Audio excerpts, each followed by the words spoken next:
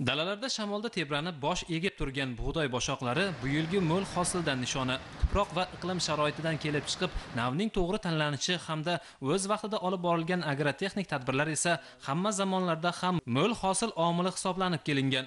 Bu fikrlar isbotini boyovutlik fermerlar misolida ham ko'rish mumkin kuz oyida bug'doyning asr bobur zimnitsa navini yerga qadagan boyovutlik fermerlar bugun har gektar maydondan 70-90 sentnergacha hosil ko'taryapti manfaatdorlik ham shunga yarasha bo'lmoqda Belga Toplaqul fermer xo'jaligini jami 121 gektar yer maydoni bo'lib, shundan 76 gektar yerga g'alla ekkanmiz, va 45 gektar paxtamiz bor. Shundan bugungi kunga kelib g'allalarimiz to'liq pishib bo'ldi. Shuni mana bugun o'rim yig'im jarayonida turibmiz. Jarayon davom etyapti. Biz e, bu yil 2023-yil Biotexno klaster bilan futures shartnomalarni imzolaganmiz. Hozirgi kunda g'allalarimizni hosili yomon emas, 65-70 sentner chamalab turibmiz. O'tgan yilga nisbatan 10 sentner ko'proq g'alla chiqyapti bu yil. O'tgan yilgi e, daromadimiz fermer xo'jaligi g'alladan 150 million atrofida daromad qilgan bo'lsak, bu yilgi yilni hisobida bir 200-250 million atrofida e, daromadni mo'ljallab turibmiz. Bu hammasi qishloq xo'jaligida bo'layotgan islohotlarning natijasi deb o'ylayman. O'rimda karvonboshilik qilib kelayotgan Boyovut tumanida bu yil 12 ming gektar maydonda yetishtirilgan mo'l g'alla hosilini tez kunlarda o'rib omborlarga joylash uchun tashkil etilgan 20 ta o'rim otryadlariga 40 ta kombaynlar biriktirilgan. Har bir kombaynning to'xtovsiz ishlashi uchun dala boshlarida servis xizmatlari tashkil etilgan. Yoqilg'i moylash mahsulotlari dala boshiga yetkazib berilmoqda. Boyot tumanimizda 2023 yil g'alla hosili uchun 12 ming gektar g'alla rejalashtirilgan.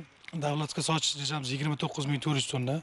320 bitta fermer xo'jalikda rejalashtirganmiz. Tumanimizda bitta don klaster bor. Don klaster bilan futures shartnoma asosida fermer xo'jaliklarimiz faoliyat yuritadilar. 12 ming gektar g'alla maydonlarimizga agrotexnik tadbirlarga to'xtaladigan bo'lsak, har bir gektariga 200 kilodan fosforli o'g'itlar bilan e, agrotexnik tadbirlarni bilan ekdik. O'rtacha 500 kilodan azotli o'g'itlar bilan oziqlantirdik. Sharbat usulida sug'orish ishlarini ikki martalab yakunladik. Gektariga 5 e, tonnadan mahalliy o'g'it jamg'arishlarini olib bordik. Mo'l hosil e, g'alla yetishtirdik. G'alla o'rimida uyushqoqlik bilan o'tkazishda tumanimizda 20 ta otryad tashkil qilganmiz. 20 ta otryadga 40 ta kombayn biriktirilgan. 280 dan ortiq don tashish mashinalar biriktirilgan kombaynimizga. O'tgan yili tumanimizda o'rtacha 60 sentrdan fermerlarimiz xirmon ko'targan. Bu yil mana shu agrotexnik tadbirlarni o'z vaqtida bajarganimizda havomiz qulay kelgani sababli hozir gektariga o'rtacha 70-80 sentrdan hosillarimiz to'g'ri kelyapti. Fermerlar xursand. o'n ish kunida g'alla o'rim terimini yakunlaymiz. Bu yil Sayxunobod tumanida 9000 gektar maydondan 23200 tonnaga yaqin saradon o'rib olish mo'ljallanmoqda. Hosilning 15000 tonnasi davlat ombori hamda birja savdolari orqali sotilsa, qolgani fermerlarning o'zida qolishi rejalashtirilgan. Umuman olganda 312 ta fermer xo'jaliklari tomonidan tumandagi Politex Sirdaryo agroklasteri bilan saradon yetishtirib berish bo'yicha future shartnomasi imzolangan. Hozirgi kunda Sayxunobodlik fermerlar har gektar g'alla maydondan 60-70 sentner dan hosil ko'tarmoqda. yetishtirilgan hosilimizni nest nobud qilmasdan o'rish uchun tumanda 28 ta otryad shakllantirilgan. 28 ta otryadda 45 ta kombayn mavjud. G'allani yig'ishtirib olishimiz uchun shu sharoitlar hamma sharoitlar qilingan. Shu yoqilg'ilar ham dalani boshiga yetkazib kelinyapti. Servis xizmatlari ham hammasi tashkil qilingan. Otryad rahbarlari va kombayn operatorlariga ham har 5 kunda e, bir haftada rag'batlanib borilyapti. Tumanimizda hozir o'rtacha hosildorlik 60-70 sentnerni tashkil qilyapti. Mamlakatimizda qishloq xo'jaligida olib borilayotgan islohotlar g'alla yetishtirishdagi o'ziga xos yondashuv va yillar davomida to'plangan tajriba maktabi natijasida Sirdaryo tumani g'allakorlari tomonidan ham mo'l hosil yetishtirildi. Dala boshida otryad rahbarlari, kombayn operatorlari uchun yaratilgan dala shiyponlari hosilni qisqa fursatlarda yig'ib olishda muhim ahamiyat kasb etmoqda. Sirdaryo viloyati Sirdaryo tumanidagi Ibrohim Karimov suiiste'molchi uyushmasi fermerlari 2023 hosil uchun 2022 yil kuzida 460 gektar yer maydoniga g'alla ekildi. G'allani to'liq agrotexnik tadbirlarga asosan ekish tashkillashtirildi. Natijada mana bugungi hosilimizning mo'l bo'lishiga olib keldi. 2022 yil kuzda o'zida ekish vaqtida 200 kilodan fosfor o'g'itlarni berishimiz, to'liq ko'chat olishimizga imkon yaratadi va bugungi kunda hosildorligimiz har bir fermerimizda o'rtacha 75-80 sentnerni tashkil qilmoqda. Fermerlarimiz ana shundan ruhlanib, o'zlariga biriktirilgan yer maydonlaridan rejadagi ortiqcha g'allalarni ham bugungi kunga davlat ehtiyoji uchun topshirmoqdalar. xo'jaligimizda ikkita otryad tashkil qilingan ikkita otryadda barcha sharoitlar yaratilgan natijada ish unumdorligi ham yuqori bo'lmoqda oddiy kes kombaynlari bilan bir kunda oltmish besh yetmish tonnada akula kombayni bilan o'rtacha bir kunda yuz yuz o'n tonna g'alla o'rmoqdamiz bugungi kungacha hududimiz bo'yicha to'rt yuz oltmish gektar g'allaning ikki yuz o'ttiz gektari o'rib bo'lindi. ellik foizdan oshiqqa erishdik xudo xohlasa kuniga oltmish gektardan g'alla o'ryapmiz. uch to'rt kunda xudo xohlasa rejani bajarish niyatidamiz.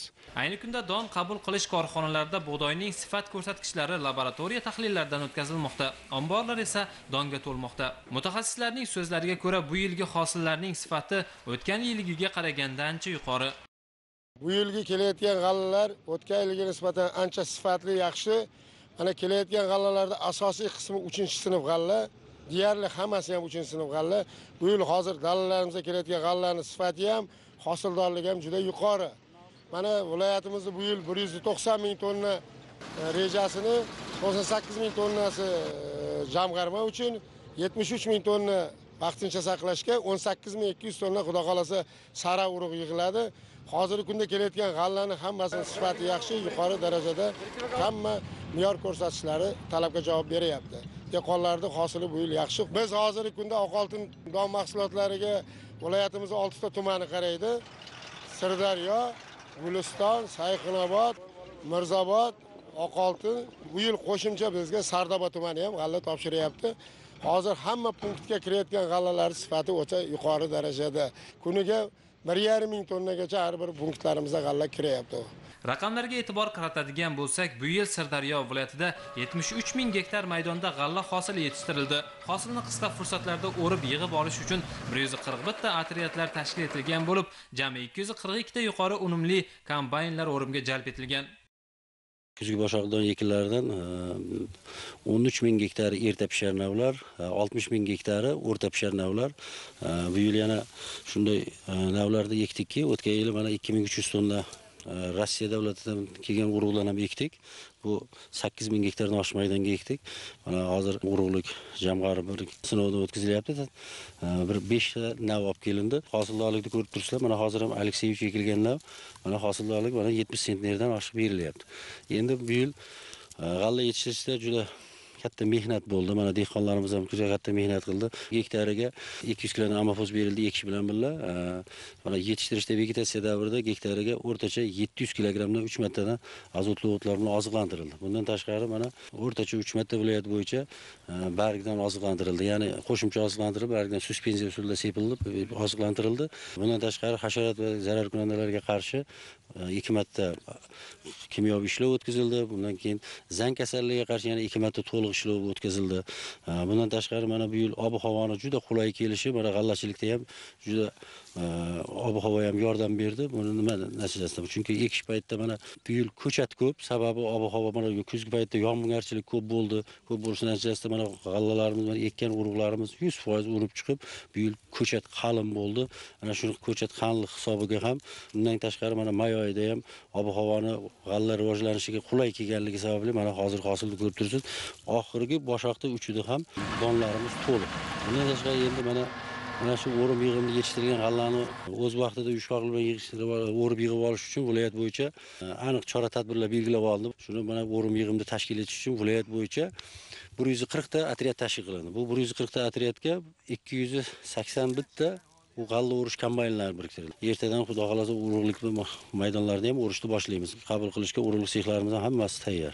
Bir so'z bilan aytganda sirdaryolik bobo dehqonlar tomonidan yaratilayotgan yuksak g'alla xirmoni ertangi farovon turmushimiz va dasturxonimiz to'kinligidan darak beradi.